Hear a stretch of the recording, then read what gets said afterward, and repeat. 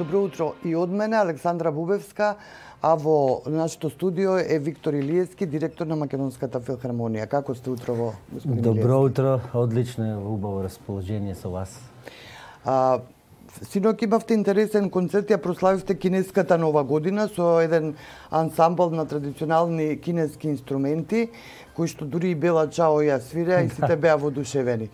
А, кажете ми, токму за овие концепти на изненадување, вие некако им приредувате во последно време изненадување на публиката. Еве можат на Чајковски да се надеват евентуално на Моцарт, но не на кинески, кинеска изведба на Бела Чао. Да, ние со доаѓањето во новиот објект се разбира дека огромни се можностите и условите кои што ги имаме. И имаме комуникација се разбира и со амбасадите, со еве културниот центар кинески кој што е 17 плюс 7 Централна Источна Европа плюс Кина.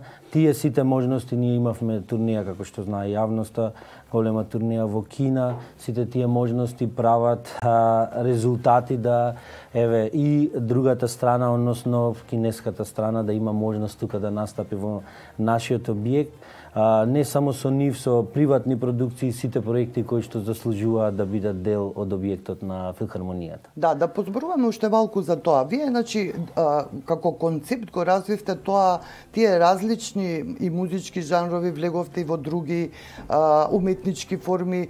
Дали ви е тоа концепт за да ја проширите публиката, бидејќи институциите, дел од нив, голем дел, се жалат дека или публиката или е стои на една бројка и тешко се зголемува се разбира кога еве секој зборуваме со статистички бројки, нашата зголемена публика за конкретно за нашата програма е 100% за редовната програма и 150% зголемена за годишните билети. Ние направивме ситуација да секој годишен предплатник има свое место во салата за нашата програма, а со вие дополнителни имаме ние два ефекти. Едниот ефект за да се дополни онаа публика која што нема можност да, да, да дојде на концерти, односно а, жанрот кој што го, го негува во, во своето а, и делување во обштественото живење и Втората ситуација е да имаме дополнителна програма за музичарите да имаат дополнителни приходи во однос на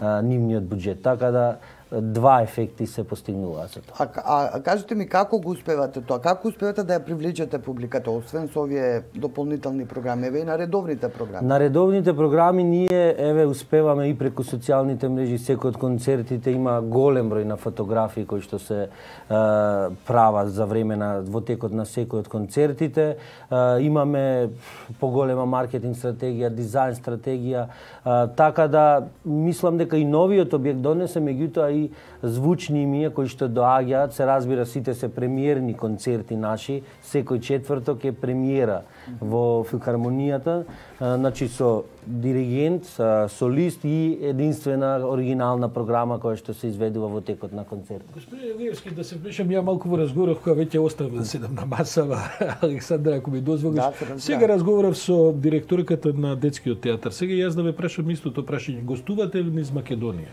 Има ли шанса луѓето кои што сакаат сериозна музика во Штип или не знам во Тетово, во, во Битола да ве слушнат, а... освен да мора да дојдат во Скопје? Да, е тоа е едно од прашањата кое што беше проблем а, во овие две години.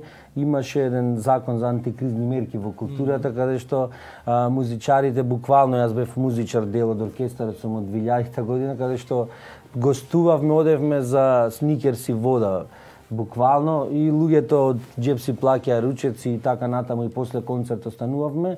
Еве од оваа година се регулираат со донесувањето на новиот колективен договор кој што е донесен после 15 години, се регулираат и, и тој дел еве јас ке се заложам да имаме многу поголема присутност во внатрешноста бидејќи државата заслужува, ние сме сепак национална установа и национална институција, Иначе ние имавме акцент ставен на меѓународни представувања, бидејќи тој дел ни беше вака еден голем хендикеп со годините.